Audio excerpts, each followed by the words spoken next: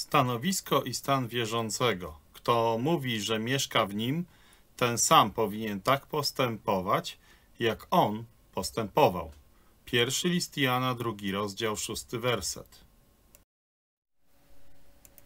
Rozróżnieniem o wielkim znaczeniu dla właściwego zrozumienia Pisma Świętego, a szczególnie listów, jest to, które dotyczy stanowiska, czyli pozycji wierzącego i jego stanu – czyli tego, jak stawia kroki w tym świecie. Stanowisko jest wynikiem dzieła Chrystusa i jest doskonałe i całkowite od chwili, gdy Chrystus został przyjęty przez wiarę. Nic w życiu wierzącego nie, do, nie dodaje w najmniejszym stopniu do jego tytułu łaski u Boga, ani do jego doskonałego bezpieczeństwa. Przez samą wiarę w Chrystusa to stanowisko przed Bogiem jest przyznane i przed Bogiem, przed Nim najsłabsza osoba, jeżeli jest tylko prawdziwym wierzącym w Pana Jezusa Chrystusa, ma dokładnie taki sam tytuł jak najznakomitszy święty. I mówi nam to między innymi Jana, pierwszy rozdział, dwunasty werset, trzeci rozdział, szesnasty werset, Pierwszy Jana, piąty rozdział, pierwszy werset. Trzynasty werset piątego rozdziału pierwszego listu Jana i drugi werset trzeciego rozdziału pierwszego listu Jana. Także Rzymian, ósmy rozdział, siedemnasty werset i pierwszy list Piotra, pierwszy rozdział, czwarty do piątego wersetu i drugi rozdział, dziewiąty werset, a także Efezjan, pierwszy rozdział, jedenasty werset, Zachęcam Cię, żebyś te miejsca znalazł w swojej Biblii.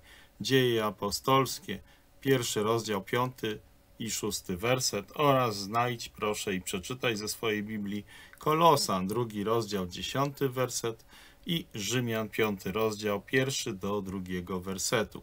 Każda z tych cudownych rzeczy jest prawdą o każdym wierzącym w Pana Jezusa Chrystusa. Ani jedna pozycja w tym chwalebnym spisie nie jest zdobywana przez modlitwę, pilność służbie, chodzenie do kościoła, jałmużnę, samozaparcie, świętość życia lub przez jakikolwiek inny opis dobrych uczynków. Wszystkie są darami Boga przez Chrystusa i dlatego należą w równym stopniu do wszystkich wierzących. Kiedy strażnik więzienny Filipi uwierzył w Pana Jezusa Chrystusa, stał się od razu dzieckiem Bożym, wspólnym dziedzicem z Chrystusem, królem i kapłanem i miał tytuł do nieprzekupnego, niepokalanego i niegasnącego dziedzictwa w chwili, gdy uwierzył swoim sercem i wyznał swoimi ustami, że Jezus jest Jego Panem, został usprawiedliwiony od wszystkich rzeczy, miał pokój z Bogiem, stanowisko w Jego łasce i pewną nadzieję chwały. Otrzymał dar życia wiecznego, został przyjęty w pełnej mierze przez Chrystusa.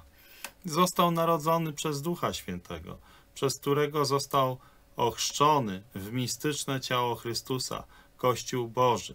Natychmiast został przeobleczony w sprawiedliwość Bożą, o czym mówi nam Rzymian, trzeci rozdział, 22 werset został ożywiony z Chrystusem, z martwych, wzbudzony z Nim i w Nim zasiadł w niebiosach.